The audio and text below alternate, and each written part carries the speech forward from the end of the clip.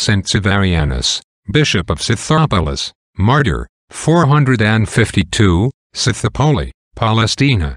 In the reign of Marcian and Saint Pulcheria, the Council of Chalcedon, which condemned the Eutychian heresy, was received by Saint Euthymius and by a great part of the monks of Palestine.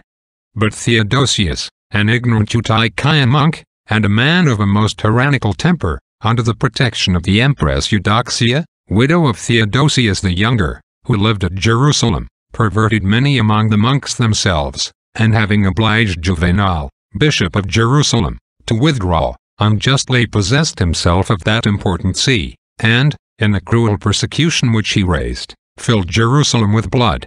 Then, at the head of a band of soldiers, he carried desolation over the country. Many, however, had the courage to stand their ground. No one resisted him with greater zeal and resolution than Severianus, bishop of Scythopolis, and his recompense was the crown of martyrdom. For the furious soldiers seized his person, dragged him out of the city, and massacred him, in the latter part of the year 452 or in the beginning of the year 453. Reflection.